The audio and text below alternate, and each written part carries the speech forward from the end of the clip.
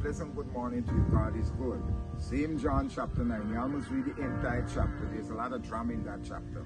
In John chapter 9, and I read from verse 8.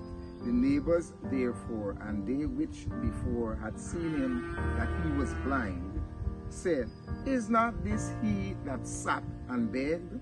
Some said, This is he. Others said, He is like him. But he said, I am he. Jesus healed this blind man. And now the controversy. Uh, you know, sometimes when God has done something miraculously for you, people doubt. But you, the individual who God worked on your behalf, you would know. Uh, but I noticed something very interesting about this man that was born blind. He never saw Jesus before. He heard them speaking about Jesus. He believed Jesus' words, even though to go and wash. He believed. That is why he ventured out in faith and he was healed. Uh, first point, you do not have to see Jesus to believe in him. That's one. And number two, when God has done something great for you, you must be the first to point out to individual that my God is alive and my God is great. My God is good. Because it's you. Think about this. Whatever age this man was, uh, remember the man born blind? He never saw the rainbow. He cannot differentiate between green, yellow, red, black, white before. Now, this man is the individual most fitted to tell others that God has done something great for me.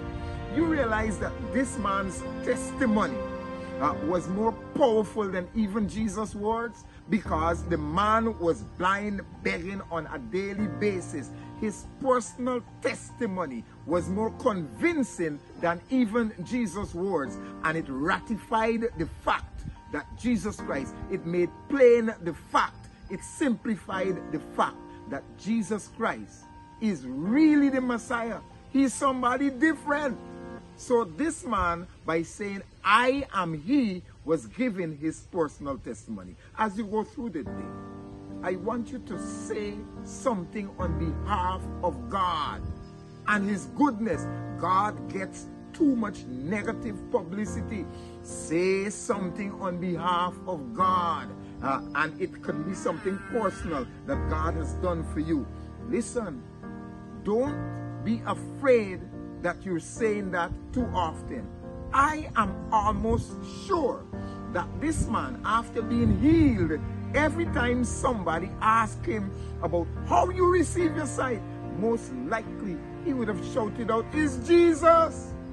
Is Jesus? Rob spit and mud and sent me to wash, and now I have 2020 vision. Say something positive on behalf of God today so that somebody can stop their unbelief and believe in Jesus Christ. God and Father, thank you so much for your word. Guide us as we go through today and put words on our lips, our personal testimony. Please, Father, grant us courage and bravery so that we can point out the goodness of God once more. Guide us throughout the day, I pray. In Jesus' name, amen. May God richly bless you. We a joyful sound. Jesus saves, Jesus saves. Spread the gladness all around.